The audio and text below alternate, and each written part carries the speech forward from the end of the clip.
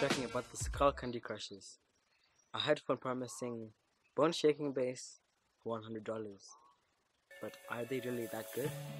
Let's find out. In the heavily advertised box, you'll find the headphones, a carrying pouch, and a attachable cable with a microphone.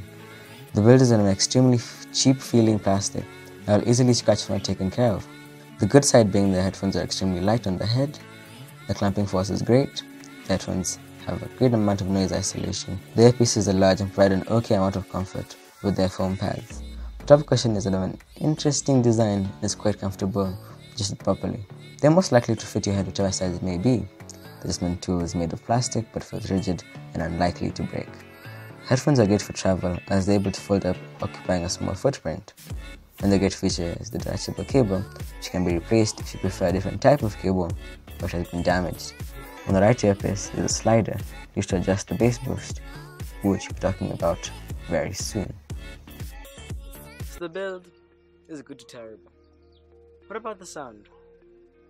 Unlike most headphones, you can input a battery that powers the inbuilt amplifier that works quite well without distortion, but they will work without the provided battery.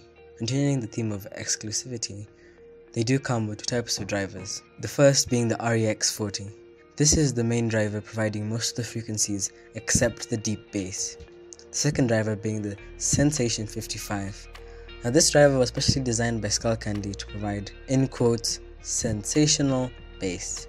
Without the battery, the signature is quite flat with a slight increase in treble, but they do sound quite sweet. With the battery and no bass boost, there is an increase in loudness and a slight increase in the bass that makes the music more enjoyable due to the amplification of the source.